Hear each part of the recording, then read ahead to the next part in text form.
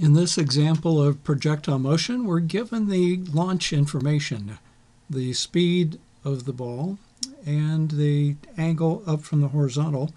And there'll be three calculations the maximum height that the ball achieves, the length of the time that the ball is in the air, and the range. How far along this horizontal distance does the ball travel um, as it lands? And in all of this, we're going to ignore air resistance. We're going to assume air resistance is zero. So getting started on this, it's good to make a sketch. Horizontal line, straight arrow for the speed at a certain angle becomes velocity. And we go up to the top, and then we come back down. and at the top, we can uh, claim that the vertical velocity is zero. This is v sub y is 0 and the maximum height being y.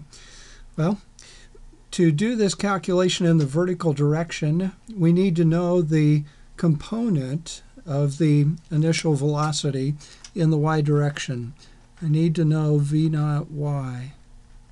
And that can be found by completing a right triangle here. And we want this side, this vertical side, so that's going to be the hypotenuse, 12 meters per second, multiplied by the sine of 28 degrees. The sine function connects the opposite side and hypotenuse. The sine is equal to opposite divided by hypotenuse. So if we multiply that both sides of that uh, verbal expression by um, the hypotenuse, we get this expression. You should try this on your calculator. The uh, vertical velocity is 5.634 meters per second. It's reasonable, it's less than 12. And the two components must be less than the uh, size of the original vector.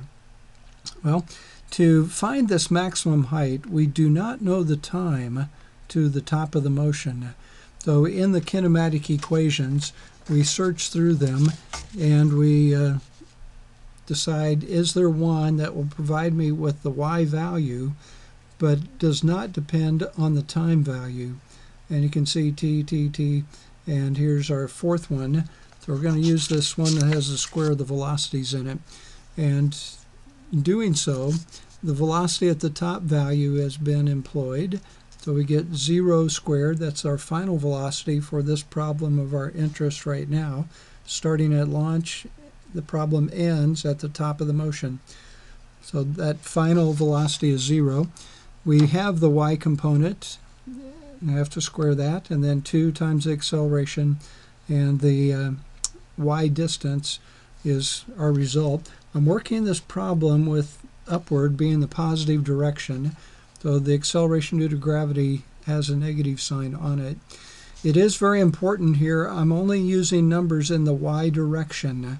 I don't use anything in the x direction mixed with some y number. You always keep the x numbers separate from the y numbers. The only exception to that is time. The time number is the same for the x and y motion. So I've squared, I've subtracted from both sides. 2 times minus 9.8 is minus 19.6. We divide by 19.6 on both sides and we find 1.62 meters for the uh, maximum height. Now, how long is the ball in the air before it hits the ground? We're going to take advantage here of the symmetry of the motion. The time to go up to the top of the motion equals the time to go down to the ground. We're landing on level ground here, so no cliff type situation. Time up equals time down. And then we can thus say the time in the air is equal to 2 times the time to go up. And if we want to calculate the time to the top of the motion, we can use the first kinematic equation, the v equals v naught y plus gt.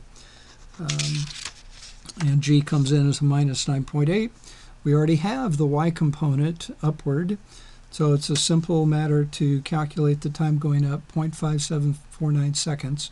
You should check this on your own calculator. And then the time in the air is double that.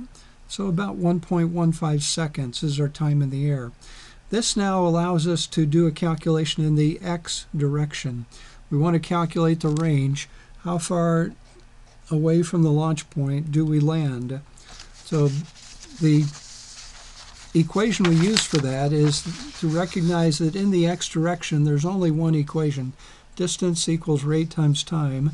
The rate is a constant.